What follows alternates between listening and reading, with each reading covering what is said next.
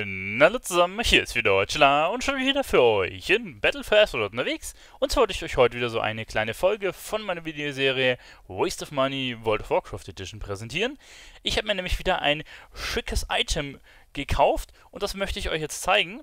Ich habe es blöderweise äh, versehentlich schon erlernt und zwar ist es ein Toy, das schimpft sich äh, Dunkles Portal und das ist ein Hidden Toy, also sprich, es wird normalerweise nicht in der Toybox angezeigt, bis man es lernt und das erhöht quasi auch den Maximal-Counter dementsprechend. Ich habe insgesamt jetzt 622 von 623 Pets, die ich mir holen kann, oder nicht Pets, sondern Toys.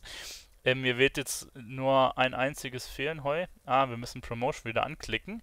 Und zwar äh, das unerschöpfliche lila Feuerwerk, wenn man hat noch was zu sagen. Jetzt gucken wir uns aber erstmal das Portal an, beziehungsweise ähm, schauen uns mal an, für wie viel Gold oder Euronen wir uns das geholt haben. Ich habe es mir nämlich auf der Card Market Seite gekauft gehabt für 300 Euro und vor einem halben Jahr war es noch für 245 drin. Also wir haben hier 50 Euro, 55 Euro sogar tatsächlich mehr gezahlt, was mich doch ein bisschen schmerzt. Aber ja, auch dieses Item ist eins, das sehr, sehr selten ist und dementsprechend gehen die leider immer ein bisschen weiter hoch.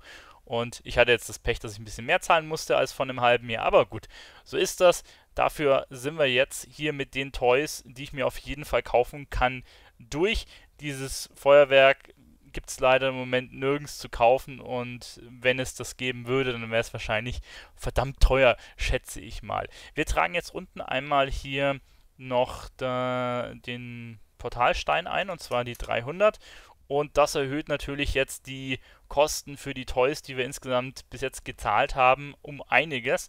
Und zwar sind wir jetzt bei 1405 Euro, was ich für Toys ausgegeben habe. Insgesamt echt Geld haben wir 5000 Euro jetzt mittlerweile für Pets, Toys und allem Möglichen ausgegeben. Und overall mit dem, was wir quasi für Gold gekauft haben, das ist ja einiges. Ne? Mittlerweile habe ich so gut wie alles, was man an TCG-Sachen sich holen kann. Ähm, sind wir bei ähm, für Gold gekauftes umgerechnet natürlich in Eurobeträge bei 7847. Wie gesagt, diese Werte sind natürlich fiktiv ich habe Gold gezahlt und das sind einfach Werte, die ich aus dem Internet quasi genommen habe, was so die Durchschnittspreise für die Sachen sind. Dann würden wir insgesamt bei 12.948 liegen. Wie gesagt, das ist ähm, so ein fiktiver Wert quasi. Den habe ich natürlich nicht wirklich ausgegeben. Gut, soweit äh, dazu. Ähm, jetzt gucken wir uns natürlich den Portalstein an. Und zwar geben wir hier Portal ein. Ich habe es blöderweise schon gelernt. Ich hatte es vorhin am Inventar liegen und dann wollte ich draufklicken und habe mich missklickt und habe es gelernt. Aber äh, zumindest so kann ich euch zeigen. Also, was ist das für ein Item? Äh, es ist einfach ein Ruhestein, ähm, den wir ganz normal hier auch haben. Aber der Ruhestein hat dann quasi ein anderes Aussehen und das sieht relativ cool aus. Ich zeige euch das mal. Wenn wir hier loslegen, dann ist unser Ruhestein-Design quasi hier das dunkle Portal und das macht schon was her. Ich dachte mir, komm, wir gehen jetzt hier nach Burning Crusade, dass es auch richtig wirkt. Jetzt können wir nochmal einen Ticken näher nochmal rangehen, dass ihr es ein bisschen besser seht. Also es ist schon relativ groß tatsächlich, wie ihr seht. Also da entscheidet einfach das dunkle Portal. Ihr könnt euch das rausziehen und einfach ganz normales Ruhestein hernehmen. Ist natürlich ein teurer Spaß dafür, dass man einfach ein bisschen anderes Aussehen für einen Ruhestein hat. Ich persönlich habe es mir aber jetzt wegen dem Sammelaspekt gekauft, um dementsprechend alle äh, Toys langsam mal fertig zu kriegen. Mittlerweile sieht es ganz gut aus. Ähm, Mounts äh, habe ich soweit alle TCG-Dinger, die man holen kann. Insgesamt fehlt mir jetzt nur noch der Allseher von Nealota. Vielleicht habe ich mir den auch schon geholt, bis das Video rauskommt. Das kann äh, gut sein. Dann ähm, Toys fehlt mir jetzt hier, was zumindest angezeigt wird, nur noch das lila Feuerwerk. Wir können jetzt auch hier mal SA Toys machen. Dann kommt hier diese komplette Tabelle, die wir einmal bei halt, wo haben wir es, hier eingeben können. Bap, bap, bap, bap, bap. Halt, das müssen wir rausnehmen. Einmal drauf kopiert. Also ich bin hier gerade auf der Seite simplearmory.com und die liest alles aus, die ist sehr gut, die Seite.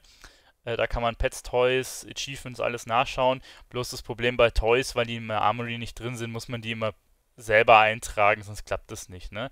Und jetzt ähm, seht ihr hier die Differenz noch zwei Toys, die mir fehlen würden.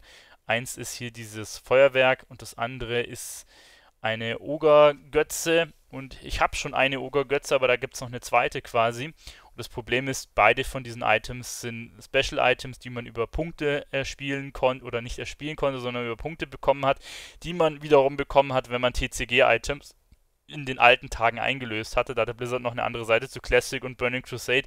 Bloß diese Seite gibt es schon lange nicht mehr, die Punkte gibt es schon lange nicht mehr, deswegen kommt man an die Items nicht mehr ran. Die, die anderen TCG-Items, die beruhen ja auf Codes, die man von Karten kriegt. Und die gibt es noch, aber diese Seite, wo man die Punkte einlösen kann, die gibt es leider nicht mehr. Deswegen schätze ich mal, dass ich an die beiden Toys nicht mehr rankommen werde. Eins davon ist Hidden, also die eine Ogergötze, die wird nicht angezeigt.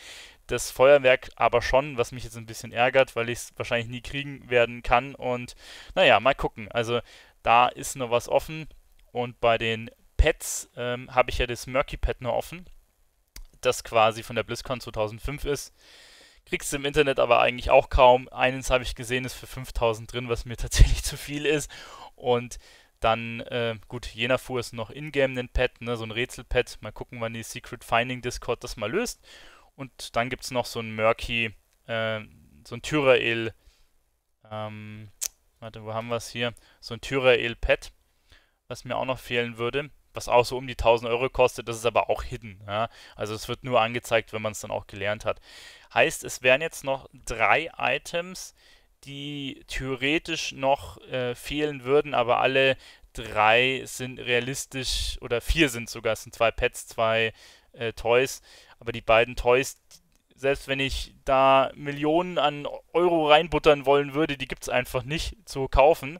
Und das Murky und der Tyrael sind halt verdammt teuer. Also 1000 und 5000 Euro für ein Pet auszugeben, ist mir dann tatsächlich auch zu viel.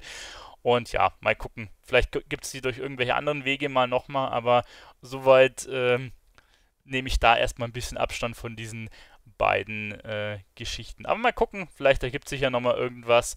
Aber zumindest die Sachen, die ich mir jetzt äh, holen wollte, habe ich alle. Und ja, jetzt sind wir quasi fast am Ende von einer langen, langen Reise, was Collectible-Sachen angeht, was äh, vor allem die TCG-Geschichten angeht. Und ja, damit wären wir am Ende von dem kleinen Video. Mich hat es gefreut, dass ihr dabei wart. Schreibt mir gerne eure Gedanken in die Kommentare. Und wenn ihr wollt, sehen wir uns beim nächsten Video wieder. Euer Teller, bis dann. Äh, ciao.